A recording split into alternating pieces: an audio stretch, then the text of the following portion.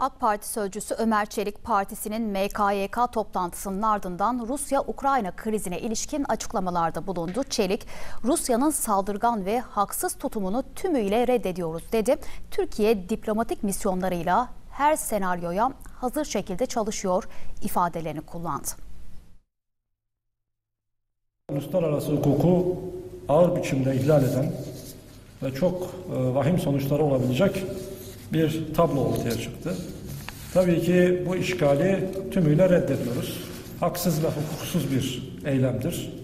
Haksız ve hukuksuz bir şekilde süreç yürütülmüştür. Ukrayna'nın toprak bütünlüğünden yana olduğumuzu, Ukrayna'nın siyasi birliğini ve toprak bütünlüğünü ilkelerimiz gereği güçlü bir şekilde savunacağımızı ifade ettik. Birincisi Ukrayna'nın toprak bütünlüğünü ve siyasi birliğini güçlü bir şekilde e, savunuyoruz.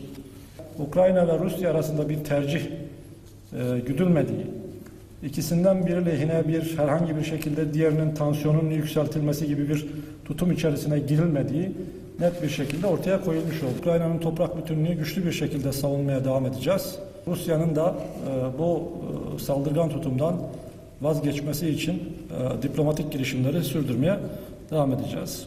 Ukrayna'daki vatandaşlarımızla e, yakın bir temas içerisindeyiz. Bu temas çerçevesinde e, oradaki diplomatik misyonlarımız görevlerine devam ediyorlar.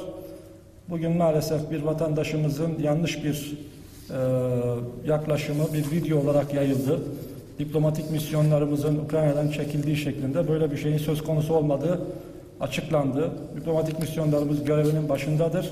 Avrupa Birliği'nin bir kınama teşkilatına döndüğü, sadece uluslararası olaylarda e, sürekli olarak kınama üreten, bir yaklaşımdan ötesini üretemediği bir kere daha görüldü.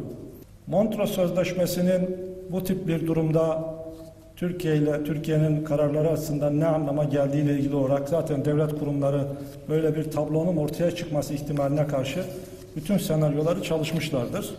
Ee, Dolayısıyla Montreux Sözleşmesi ile ilgili olarak önümüze gelebilecek e, çeşitli durumlarla ilgili olarak projeksiyonlar yapılmıştır, hazırlıklar tamamlanmıştır. Hem hukuki açıdan hem diplomatik açıdan e, gereken hazırlıklar şimdiye kadar e, tam olarak e, yerine getirilmiştir.